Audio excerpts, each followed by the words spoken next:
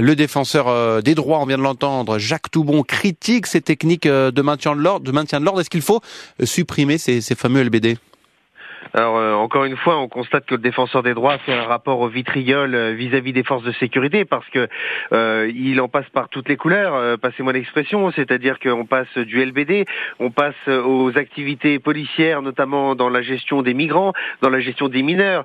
Et je trouve ce rapport injuste et infondé. Alors pour en revenir aux lanceurs de balles de défense, oui, cette arme intermédiaire est nécessaire.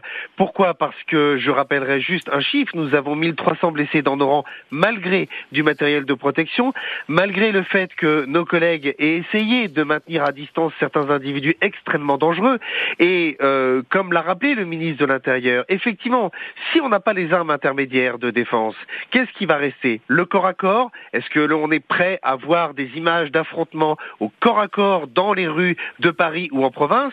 Et évidemment, le plus grave, euh, l'utilisation d'une arme létale. Et je crois que personne en France ni en Europe ne voudrait avoir des morts au sein de manifestations revendicatives. Parce Stanislas Godon, vous, vous parlez des blessés du côté des forces de l'ordre. Il y a aussi de, de graves blessures du côté des, des manifestants, notamment euh, récemment lors des manifestations euh, des Gilets jaunes, aux yeux, aux, mains également. Comment éviter cela, ces blessures dues aux lanceurs de balles de défense?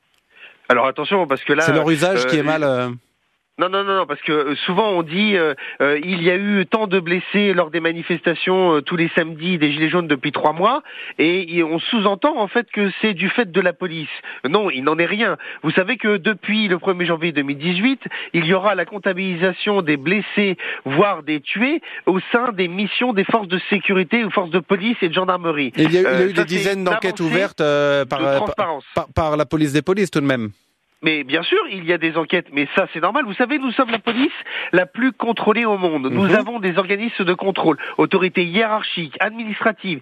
Il y a une plateforme de signalement. Nous avons l'inspection générale de mais est-ce que vous reconnaissez, Stanislas Godon, que peut-être il y a un encadrement à faire de l'utilisation aujourd'hui des LBD Ou est-ce que vous considérez qu'ils sont utilisés de manière totalement, euh, on va dire, euh, normale et, et sans problème? Alors, pour euh, euh, rétablir les choses. Il y a eu 13 460 utilisations de lanceurs de balles de défense. À ce jour, nous ne comptons pas 13 460 blessés. Soyons très clairs sur le sujet. Il y a eu effectivement des blessés et évidemment, lorsqu'il y a des blessés graves, c'est à déplorer et tout le monde le regrette. Seulement, attention de ne pas faire un procès d'intention aux forces de sécurité qui en ont pris plein la figure parce qu'il faut rappeler à quoi est-ce qu'ils ont été exposés, comment ils ont été attaqués, boules de pétanque, bouteilles d'acide, le premier éborgné sur ces manifestations de Gilets jaunes, c'est un policier suite à un engin incendiaire euh, qui avait été jeté notamment euh, fin novembre. Donc, euh, je le rappelle ici, s'il y a des manquements dans nos rangs, ça fait l'objet d'enquêtes et de sanctions extrêmement sévères au sein de la police nationale. Il n'y a pas d'impunité au sein de la police nationale. Et pardonnez-moi de le redire, mais s'il y avait un peu moins d'impunité sur les individus extrêmement dangereux qui infiltrent les manifestations, s'il y avait des peines complémentaires d'interdiction de manifester qui était prononcée à l'encontre de ces individus, peut-être qu'on aurait moins de violence aussi au sein des manifestations.